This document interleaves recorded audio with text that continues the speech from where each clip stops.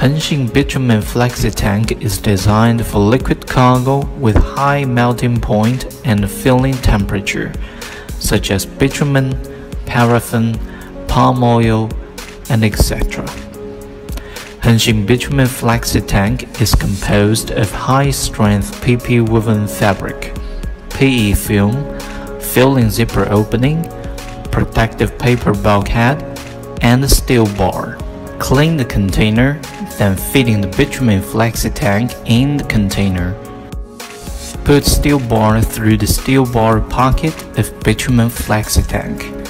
Then put it in the card slot in the front of the container.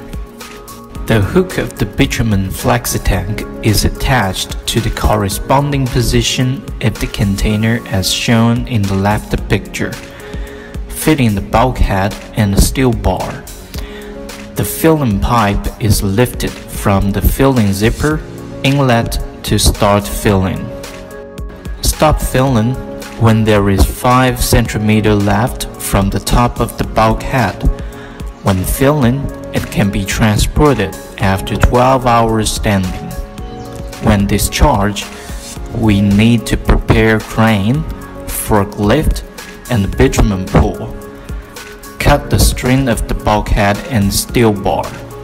Lift the container from door part using top brace to pull out of the steel bar one by one.